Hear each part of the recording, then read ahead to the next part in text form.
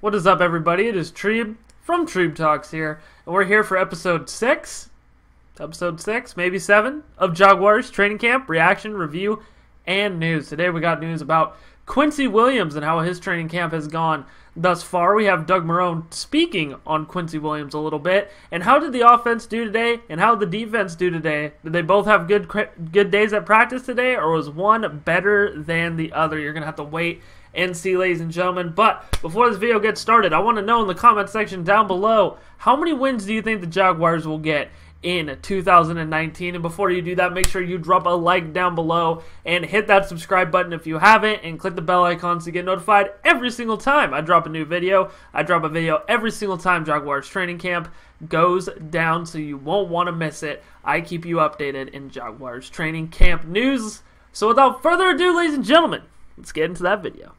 So our first piece of news is a continuation of something we said in a prior Jaguars training camp reaction new review and news video. Trust me, ladies and gentlemen, you have no idea how hard that is to just say all the time. I literally had to take three takes of the intro to say Jaguars training camp reaction review and news. But anyway, this was in one of my other episodes of Jaguar training camp reaction review and news. We talked about Dede Westbrook and DJ Chark emerging as Nick Foles' favorite targets and emerging really as the two best receivers uh, at training camp thus far. They've been dominant. They've been making plays anything that you see on social media of a wide receiver making plays, it's always DJ Chark or Dede Westbrook. So it's looking like these two guys are going to be making plays all season long, especially if Nick Foles can just deal them the football, and they should be making incredible plays. Speaking of incredible plays, here's one of DJ Chark's catches today.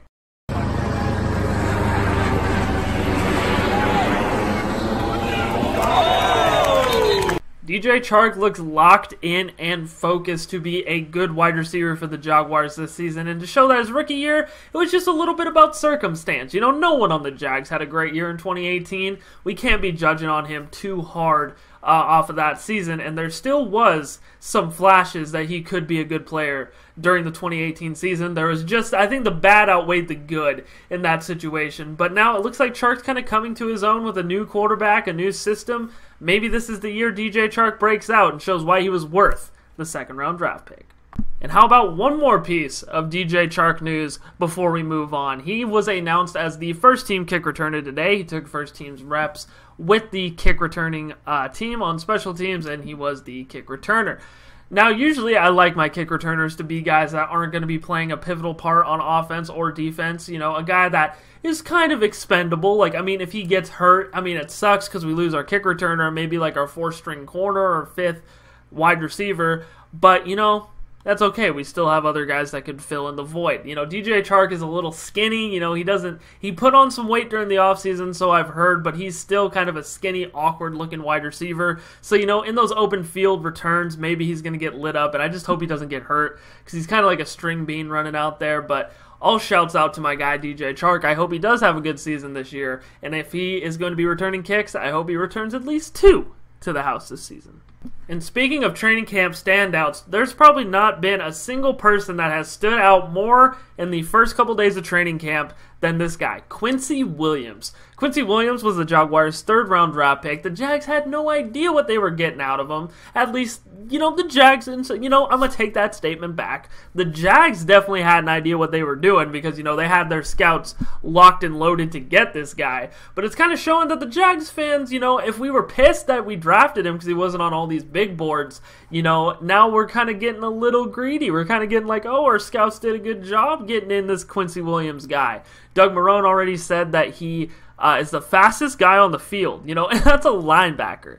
That's a linebacker you're saying that about, and he's a he's a stacked dude. He's a big dude. So you know, seeing him fly around the field, it's kind of like Telvin Smith, man. And he's kind of he's a little bigger than Telvin Smith, but you know, it's kind of like the same deal. You know, bigger guys that are really good sideline to sideline linebackers. And if this draft pick ends up hitting we need to praise at least the scouts on that one for finding Quincy Williams and knowing that that was a good selection for the Jaguars. It's very exciting to see guys that you really haven't heard too much about, you know, prior to the camp, you know, do really well. And I Quincy Williams is one of those guys, and he's been probably the most major standout out of any Jaguar player thus far in training camp. And you just love, love to see that.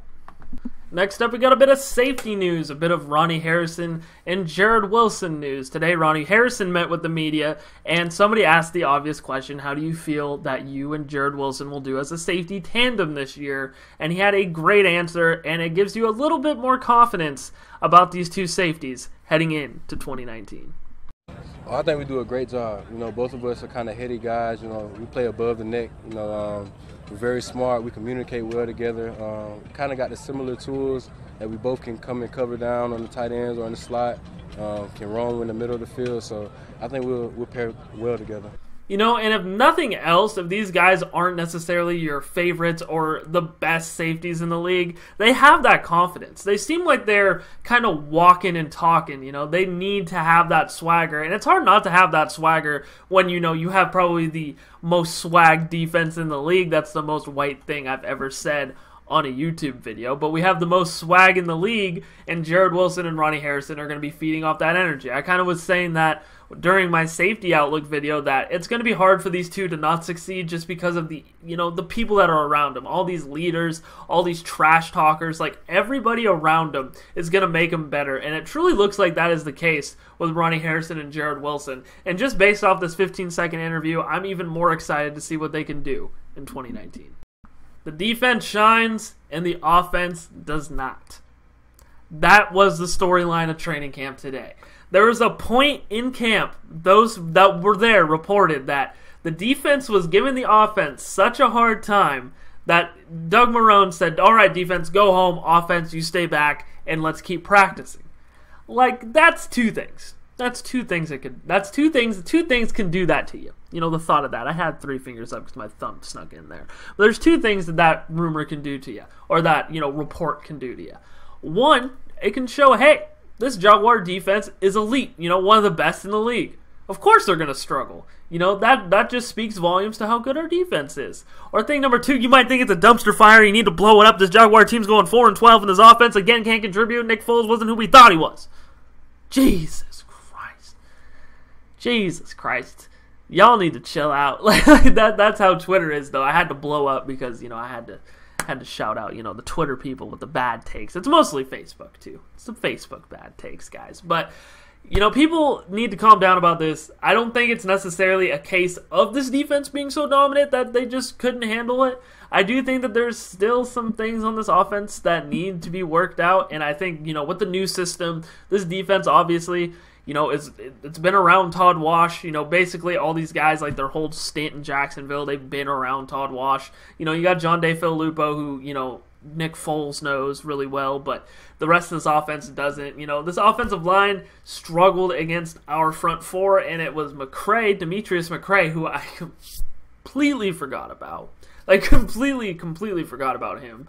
And then you have freaking Calais Campbell, Marcel Dareus, and Abry Jones. Those were the four that were just dominating our offensive line, and that's not even our four best defensive linemen. You know, it kind of it, it, makes me worried about the offensive line more than anything. It doesn't really make me worried about this whole offense. It has me a little bit worried on that offensive line. But you also have to think too, guys like Jawaan Taylor hasn't came in to start yet and Cam Robinson's still on the sidelines nursing his injury. So maybe when those guys come back, these, you know, 11 on 11s could be a little bit closer. But until then, I think that, yeah, they're going to struggle because this offensive line is not built and it's not the best offensive line they can have. So I wouldn't read too much into that. I think it's more of just an offensive line thing.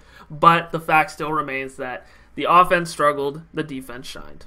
And finally, to end the video, why not some Geoff Swaim news? That's not even really Geoff Swaim news. It's Geoff Swaim getting clowned on when Nick Foles threw him an absolute dot in the end zone. But Mr. Jarrod Wilson was out there and made a play incomplete, and the Jaguars defense did the most Jaguar defensive thing in the world. Take a look at this video.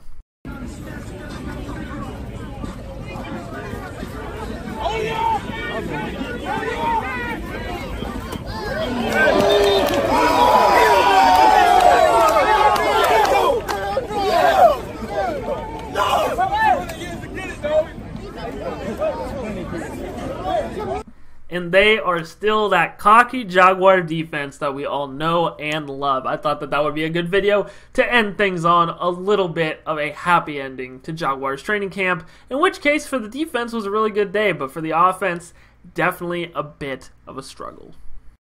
And that was Jaguars Training Camp Reaction Review and News, episode 6 or 7, not too sure. What you guys think? Leave your comments down below. Don't forget, check links down below as well. You can like me on Facebook at Treeb Talks. Follow me on Twitter at Treeb Talks or follow me on Instagram at Trayvon Pixley. Also, if you haven't yet, make sure you hit that subscribe button. Click the bell icon to get notified every single time I drop a new video. I drop new content on this channel six days a week. Ain't nobody outworking me. Them's just straight facts. Thank you guys so much for watching this video. And as always, you guys have a great rest of your day.